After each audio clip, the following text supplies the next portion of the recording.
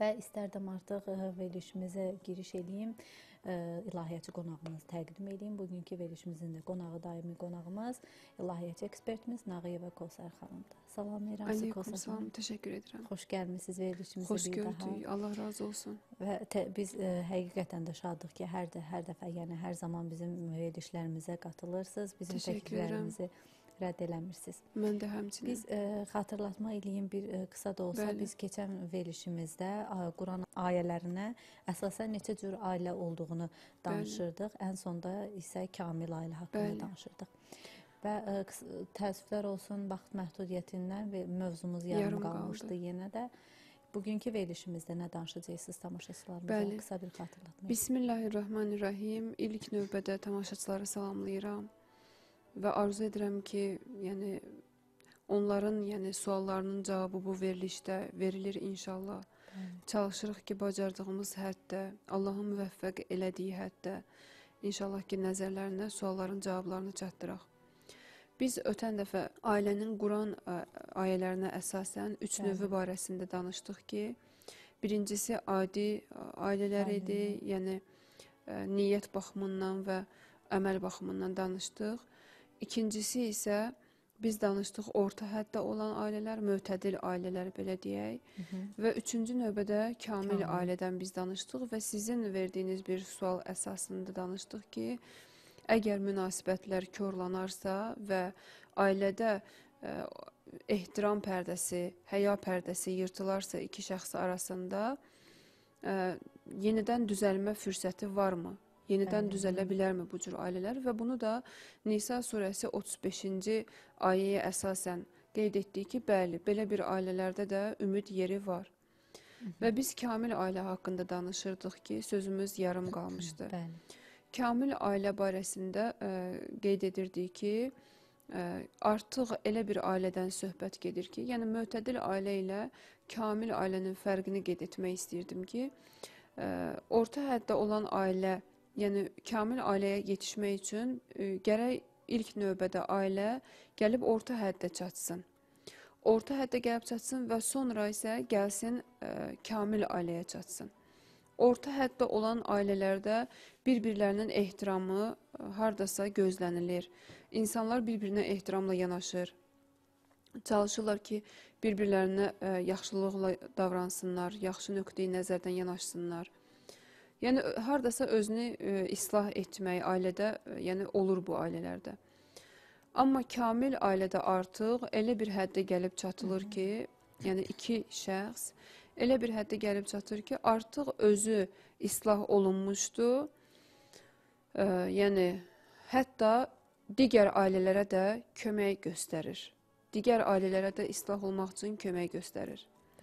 Bir-birləri üçün fədakarlıq edənlər, bir-birləri üçün ən yaxşı şeyləri düşünənlər, ailədə ən gözəl tərzdə danışıq. Bütün bu bildiyimiz ə, və haqqında danışdığımız yaxşı şeylər kamil ailədə var ki, biz gələcək proqramda, yəni Allah Taala inşallah nəsib etsə, bu ailələrin, yəni bu ailəyə çatmaq üçün hansı mərhələlərdən keçmək lazımdır və nə cür olmalıdır? Bunlar barəsində inşallah ki qeyd edəcəyik. Amma ə, ümumi götürdüyümüz zaman ə, digər bir ailə növü də var ki, ə, yəni cəmiyyətimizdə daha çox biz bununla rastlaşırıq ki, böhran keçirtmiş ailələrlə biz rastlaşırıq bir də görürsən. Əksəriyyət ailələrdə indi görürük ki, böhranlar baş verir. İlk növbədə, yəni insanlar gərək ə, ən böyük vəzifələri budur ki, yəni sual oluna bilər tamaşaçılar tərəfindən ki, ə, yaxşı, nə etmək lazımdır? Əsas növbədə, yəni əyləşib insanlar öz münasibətlərini araşdırmalıdırlar. Əksər hallarda problemlərin daha dərinləşməsi bundan irəli gəlir ki, insanlar problemdən qaçırlar. Amma problemlərdən qaçarkən problem həll olmur. Əksinə daha da böyüyür və mənasız və hədəfsiz bir həyat tərzi sürməyə başlayır insan. Sırf problemlərlə üzləşərkən insan başlayır həmin problemlərin həllini də orada axtarıb tapır. Səbəblər araşdırılmalıdır. Nə üçün böhran keçirilir? Bir də görürsüz ki, ümumən danışarkən insanlarla ə, evin əhlinə baxarkən bilmək olur. Məsələn, uşağa dindirirsən, uşaq deyir ki, ana hey yatır. Ə, məsələn, kişi qadına deyir ki, sən hər nə zaman görürəm elə halın yaxşı deyil. Məsələn, özünə bir baxmırsan, ev həmişə darmadağındır. Yəni artıq bu ailəyə baxanda hiss etmək olar ki, bu ə, ailənin qadınında depressiya vəziyyəti var. Yəni sarsıntı var hardasa. Və sarsıntının səbəbləri araşdırılmalıdır. Ə, Nədən sonra sarsıntı baş verib, illətləri və səbəbləri nədir? Bütün bu şeylər hamısı kökünə yetişməlidir. Biz bir problemi həll etmək üçün ona ə, hər tərəfli yanaşmalıyıq. Hər tərəfli baxmalıyıq ki, ə, ta bir, ə, yəni həllini biz tapaq. Və yaxud da ümumən ailələrlə rastlaşırıq ki, bəzən bir də görürsüz ki, ailədə öz daxilində bir problem yoxdur, amma kənardan olan müdaxilələr sayəsində ailədə hər hansı bir problemlər yaranır. Bu yerdə yəni insan gərək ə, ədalətli şəkildə oturub üzləşə bilsin problemlərlə. Və hətta Zeynəb xanım qeyd edim ki, əxlaq elmində də bu cürdür. İnsan, ə, yəni alimlər deyirlər ki, insan öz nəfsini tərbiyə etmək üçün bir neçə bir neçə şeyə müraciət etməlidir. Ə, ki, bunlar yəni müraqibətdir, müşaritədir, bu bu kimi şeylərdir. Hansı ki, insan səhər duranda şərt qoymalıdır özü ki, mən bu gün məsələn diqqət yetirəcəm, günah etməyəcəm. Daha sonra ə, ehtiyat etməlidir ki, günaha düşməmək üçün ehtiyat etməlidir, ehtiyatla davranmalıdır. Yəni öz rəftarlarına diqqət yetirməlidir. Ondan sonra özü üçün ə, yəni hesab kitab etməlidir. Bəzi hesab kitabın da bir neçə növləri var ki, ümumən ə, qeyd edirlər ki, hətta dəftəriniz olsun. Ola bilsin ki, insan hər şeyi yaddaşında saxlaya bilməsin. İnsan məsələn ə, gündəlik özünün həssas olduğu nöqtələri, zəif nöqtələrini bilir. Ə, məsələn, hər bir şəxs bilir ki, onun zəif nöqtəsi hansıdır. İnsanın içindəki, yəni vicdan hissi ona hiss elətdirir, çatdırır ki, yəni bu yaxşı işdir, yoxsa bu səhv işdir.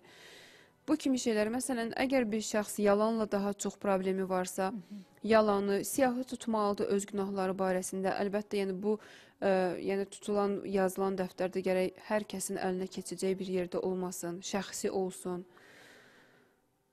Bu kimi ailə ilə bağlı da xanımlara biz ən çox tövsiyə edirik ki, məsələn, ailədə müşkülləri, problemləri çoxdursa, oturub bunu, yəni dəlilini, kökünü axtarsınlar. Əgər bir xanım hər zaman evdə qəzəblidirsə, əsəbidirsə, bunun neçə dəlilləri olmalıdır.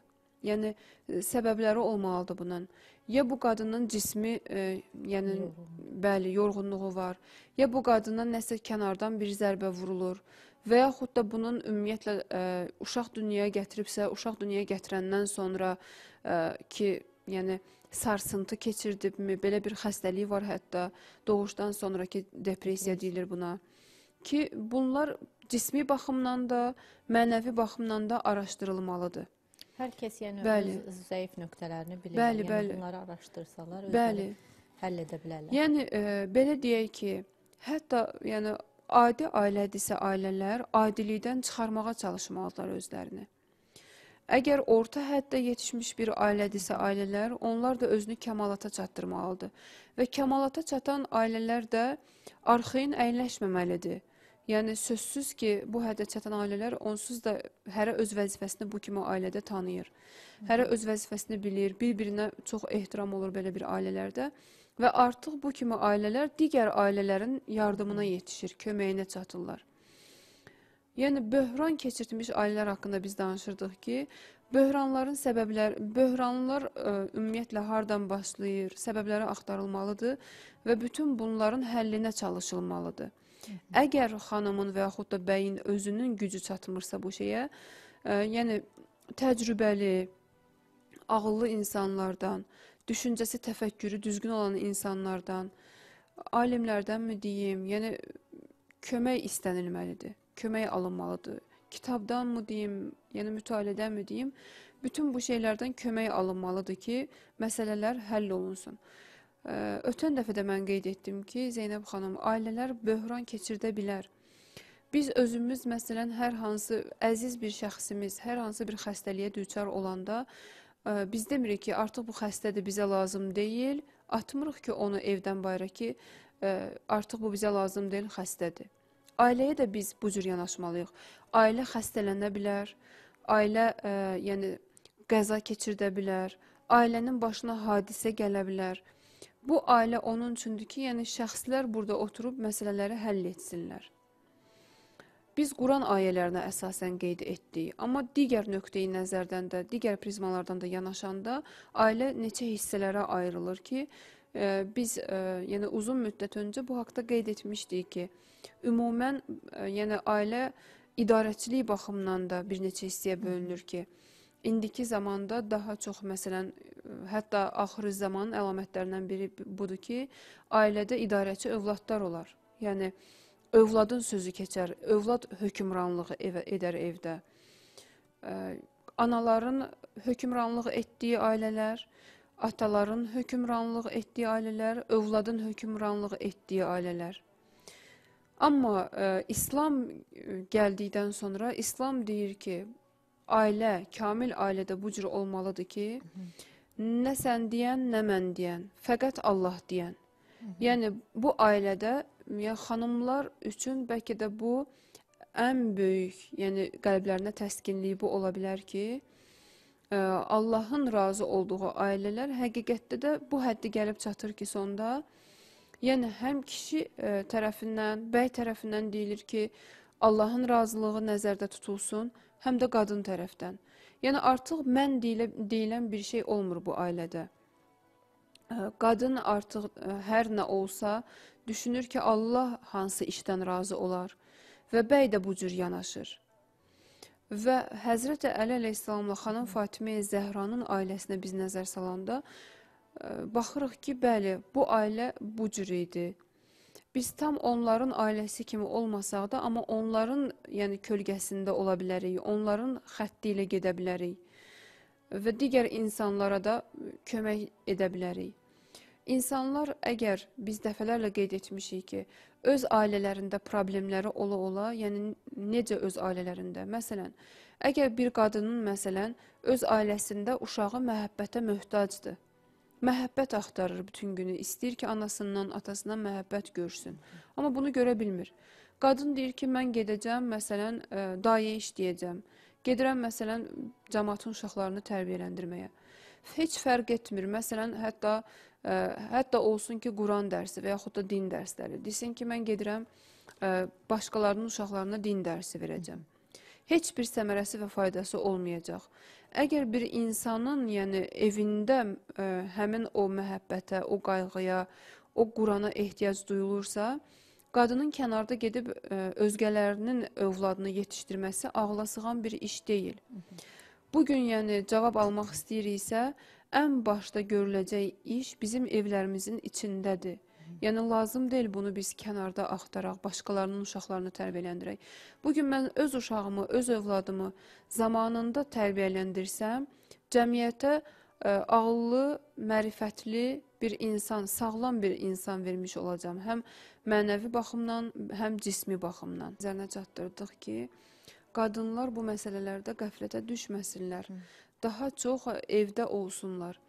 Və hətta Zeynəb xanım qeyd edim ki, hədislərə əsasən ümumilikdə ə, hansı şeylər mələkləri bizim evlərimizə cəlb edir sırasına biz nəzər yetirsək, ə, görürük ki, uşaqlarla mehribanlıq, uşaqlara yaxşı davranmaq, evdə qadının məsələn xoş əxlaq olması, fədakarlıq etməsi, bu kimi şeylər Allahın nəzərini cəlb edir və Allahın nəzəri cəlb olduğu zaman da Allah sözsüz ki, bizim evimizə mələkləri nazil edəcək.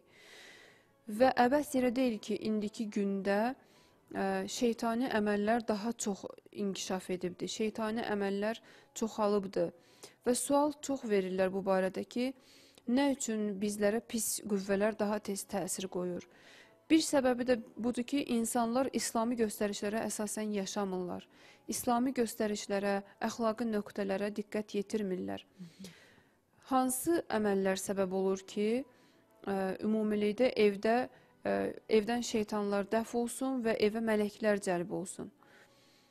Bu əməllər, yəni müstəhəb əməllərin hər biri vacib və müstəhəb əməllərin hər birisi səbəb olur ki, evə mələklər cəlb olsun. Və məhkruh və bəyənilməyən və günah əməllər səbəb olur ki, insan şeytanı özünə yaxın buraxır. vəsvəsə olunan insanların əksəriyyətinə araşdıranda vəsvəsə barəsində görürük ki, bəli, onlar müəyyən səbəblərdən özləri bu vəsvəsələri yaxına buraxıblar. Və bu iki nöqteyi nəzərdən də araşdırılmalıdır. Həm cismi baxımdan qeyd etdiyim kimi və həm də mənəvi baxımdan. O yüzden də xanımın, yəni evdə vaxt qoyması Allahın qatında çox, yəni təqdirə layiqdir. Nəyə görə? Ən başlıca səbəbi Zeynəb xanım budur ki, ə, kənarda biz bir işi görəndə bizə daha asandır. Nəyə görə? Məsələn, bir dostumuz bizdən kömək istəyir. Canla başla biz gedirik kömək etməyə. Onun evinə hətta öz evimdə bu gün əgər güc tapmıramsa iş görməyə, kimsə məni dəvət edir iş görməyə evinə kömək etməyə. Mən qaçaraq gedirəm və çox maraqlıdır ki, orada mən ə, sanki güc gəlir mənə. Elə qəşəng də, yəni ə, işləyirəm də, yorulmuram da. Üstəlik yaxşı bir əhval-ruhiyyə ilə evə qayıdıram. Bu nədən irəli gəlir? Çünki orada hardasa qarşılıq var. Yəni biz dost üçün hər hansı bir işi görəndə dost bizə təşəkkür edir. Çox sağ ol deyir. Yəni bizə müsbət sözlər deyir. Amma evin ə, e, əhatəsində, evin mühitində çox halda belə olmur. Qadının gördüyü iş bəzən elə bir adi şəklə düşür ki, hətta evdəkilər ehtiyac duymurlar ə, e, təşəkkür etsinlər. Hətta övlad fərqində deyil, elə bilir ki, elə ana bu cür olmalıdır. Yəni həqiqətən də bəzən ə, e, uşaqlar ə, evdən götürürlər, yəni böyüklərdən götürürlər. Evin bəyi məsələn, əgər çox təşəkkür etsə, çox məhəbbət bildirsə xanıma, biz görürük ki, orada artıq övlad da bunu öyrənir. Amma əksər halda cəmiyyətimizdə görürük ki, bəylər bu kimi nöqtələrə diqqət yetirmirlər. Onun üçün də xanımın evdə gördüyü iş çox, yəni dəyərli bir işdir, çox çətin və məsuliyyətli bir işdir. Çünki xanım gördüyü hər hansı bir iş üçün təşəkkür almır bəzən və hətta belə deyim ki, bütün gün ərzində çalışır. Bəzən elə bir çətin bir qidanı hazırlayıb ərsəyə gətirir ki, bir xörək hazırlasın ki, həyat yoldaşı və ə, e, övladı ondan yesinlər. Gətirib qoyanda bir də görürsən ki, hətta nəinki təşəkkür eşitmir, üstəlik ona deyirlər ki, dadı yaxşı çıxmayıb. Hı -hı. Yəni bu kimi hallar baş verə bilər. Bu xanım Allahla rabitəsini o qədər düzəltməlidir o qədər özünü iman cəhətdən yetişdirməlidir ki, artıq bunun e, müqabilində təşəkkür gözləməsin və ə, e, onun üçün də evin daxilində iş görmək daha çətindir. Amma əgər xanım sınasa ki, ə, e, o müsbət enerjini, o təşəkkürü ə, e, gözləməsin öz ailəsindən və bilsin ki, həqiqətdə kimin üçün iş görür, bu zaman xanımda ə, yəni çox qeyri-adi bir enerji, müsbət enerji olacaq. Çünki belə olan təqdirdə əgər xanım deyinmədən, xoşhallıqla, yaxşı bir şəkildə evin işləri ilə məşğul olsa, ailə ilə məşğul olsa, qeyd olunur ki, mələklər nazili olar, kömək edər. Biz artıq dəfələrlə bu haqda danışmışıq. O evlərə cəlb olar mələklər. Bəli. Və ə, sözsüz ki, zərrə qədər də yaxşılıq əvəzsiz qalmaz heç bir surətdə. Necə ki, zərrə qədər yaxşılıq ə, əvəzsiz pislik əvəzsiz qalmır, yaxşılıq da əvəzsiz qalmaz. Bəli. O yüzden də yəni ə, e, xanımlar kəmala çatmaq üçün başlıca rolu ifa edirlər ailələrdə. Ə, e, çox çətindir, çox dəyərli və savabı olan bir işdir. Hələ üstəlik Zeynəb xanım, ə, e, bəzən biz görürük ki, ə, qeyd etdim ki, böhrana uğramağın səbəblərindən biri də bu olur ki, üçüncü şəxslər müdaxilə edirlər ailəyə. Yəni ə, peyğəmbər sallallahu buyurur ki, ümmətə istəmirsiniz ki, mən sizə e, orucdan və namazdan daha e, yaxşı olan bir əməl e, deyim.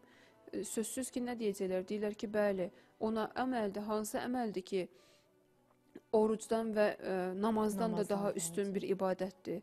Deyir ə, peyğəmbər ki, çalışın insanların arasını düzəldəsiz. Yəni insanların münasibətin bir-biri ilə münasibətini yaxşılığa gətirib çatdırasınız. Çünki əlimizdə olan hədislərə əsasən Vəsail Şiədə də bu kimi hədislər var ki, insanların arasındakı münasibətlərin korlanması dinin xələl görməsinə gətirib çıxardır. Dinin zərbə yeməsinə, fəsada gətirib çıxarır. O yüzden də e, yəni insanların arasındakı münasibəti düzəltmək çox gözəl və təqdirə layiq bir işdir. O ki qaldı ailədə. Bir də görürsüz ki, ə, yəni həqiqətdə də analar mən ə, cavan xanımların, gənc xanımların əsasən nəzərinə çatdırım ki, gərək övlad yetişdirərkən belə çox diqqətli olsunlar. Hər gün bu şeyi özlərinə ə, yəni təkrar etsinlər, öz zehinlərinə, qəlblərinə, belə deyək, ətinə, qanına yeritsinlər özlərinin ki, bu övlad mənim yanımda qonaqdır. Mənim malım, mənim mülkiyyətim deyil. Mən bunu böyüdürəm Allaha xatir və bir gün gələcək ki, bu qonaq mənim evimdən gedəcək. Biz qonaq bizim evimizdən getdikdən sonra qonağın dalıcan düşüb tənə vurmuruq və yaxud da qonağa müraciət edib demirik ki, ə, sən niyə qalmadın, niyə məsələn getdin bu işi gördün. Hey biz səbəb axtarmırıq, hey biz ona əziyyət vermirik ki. Əksər halda, ə, yəni kiçik yaşlardan ə, xanımlar diqqət yetirmirlər. Elə düşünürlər ki, bu mənimdir, mən istədiyimi edə bilərəm. Yəni övladla istədiyimi edə bilərəm. Və yaşa dolduqca da özləri hiss etmədən çox qeyri-adi bir tərzdə artıq bağlanırlar övlada. Və bu yerdə artıq övlad sərbəst həyata atılarkən, yəni ailə qurur övlad, istəyir ki, evdən getsin.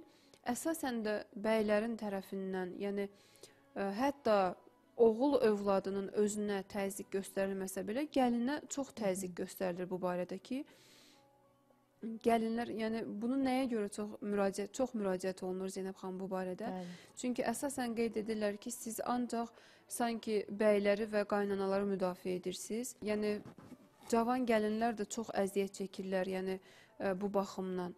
Mən əsasən, yəni böyük xanımlara elə də yəni yaşımın az olmasının səbəbindən, kiçik olmağım səbəbindən elmi nöqteyi nəzərdən dəfələrlə biz çatdırmışıq ki, çalışılsın ki, kömək göstərilsin və hətta hədis də indi qeyd etdik ki, ən yaxşı əməl budur ki, insan öz övladına məsələn kömək etsin ki, ailədə münasibəti düzəlsin və digər insanlara münasibətinin korlanmasına yox, düzəlməsinə səbəb olsun. Bir də görürsüz ki, ailələrdə müraciət edirlər çox qeyri-adi surətdə ki, ə, əgər inşallah nəsib olsa biz qaynana və gəlin münasibətləri barəsində danışarıq, amma müraciət edirlər ki, ə, yəni bu barədə siz çox demirsiniz, çox yəni daxil olmursunuz bu söhbətlərə. Qeyd edirlər ki, məsələn biz ə, ailə daxilində ər-arvad həyatı yaşaya bilmirik ümumiyyətlə. Buna görə ki, məsələn, həyat yoldaşına nəsə bir yaxın gedib nəsə bir söz deyəndə qaynana narahat olur ki, sən mənim oğlumu əlimdən almısan. Yəni bu kimi hallar indiki cəmiyyətdə çox, yəni rastlaşırıq bununla. Bu ə, e, gənc ailələrə yəni müraciətimiz buna görədir ki, gənclər gəncdilər. Özlərini yetişdirmək üçün daha çox fürsətləri var. Daha çox ə, e, yəni belə deyək, Allah Taala onlara lütf edibdi indiki halda. Əgər məlumatları varsa, gənclik əllərində ikən övladlarını qonaq kimi baxsınlar. Allahın bir əmanəti kimi baxsınlar ki, bir gün o əmanəti qaytarmaq məcburiyyətində olacaqlar.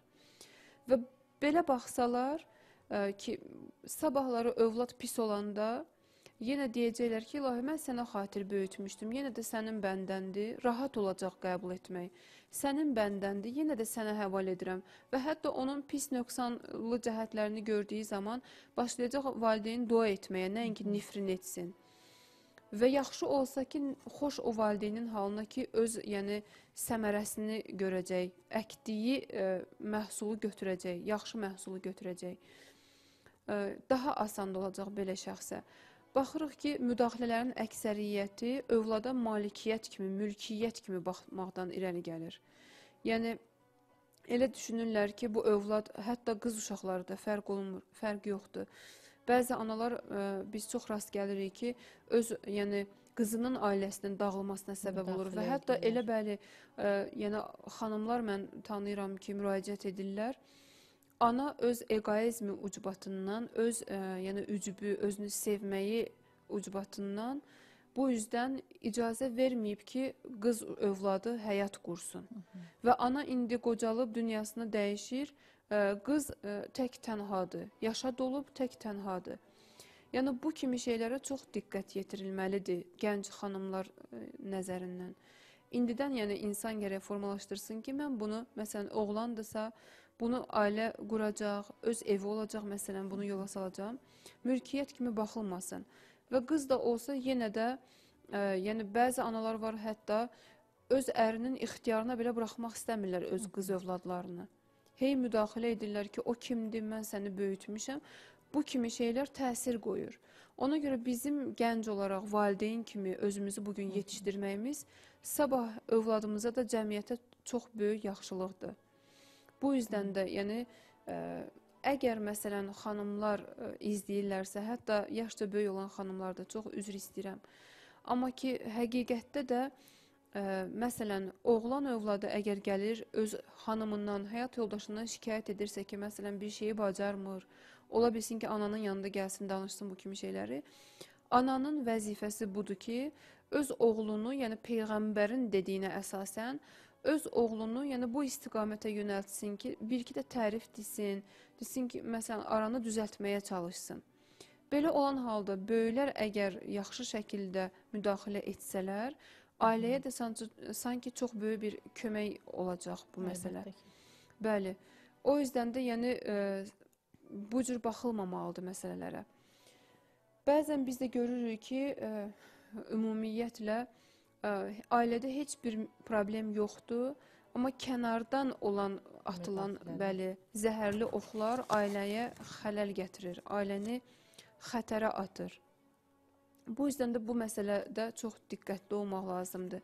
Və hətta hədislərə əsasən Zeynəb xanım qeyd olunub ki, ailə məsələsində ər-arvad arasını düzəltmək məsələsində qeyd olunub ki, hətta yalandan tərif də deyilsə, məsələn, iki şəxsin arasını düzəltmək üçün ər haqqında xanıma gedib demək məsələn olar ki, səni tərifləyirdi, məsələn, bu cür idi, elə idi. Bu bu yerdə Allah Taala bu cür ə, yəni işi daha çox bəyənir, nəinki ə, həqiqət olsun, amma pis şəkildə olsun ki, sonda fəsada aparsın həmin ailəni. Bəli. Artıq verilişimizin sonuna yetişmişik. Bəli. Əgər fikriniz yenə tamamlamamısınızsa, Zeynəb xanım, fikrimi tamamilə elə mənə elə gəlir ki, çatdırdım və hətta uzun danışdım. Çox, yəni ə, üzr istəyirəm əgər baş ağrısı oldusa, amma ə, gələn proqramda inşallah ə, yenə də Quran və hədislərə əsasən ə, yəni ya tamaşaçıların suallarından olsa, suallardan da olmasa inşallah ki, mövzumuza yenə də davam edəcəyik. Və tamaşaçıların nəzərinə çatdırı- çatdırım ki, hətta orta ailələr necə olmalıdır və necə kəmalata çatılmalıdır, onun da elmi cəhətdən, yəni belə deyək, düsturlarını biz çatdıracağıq inşallah.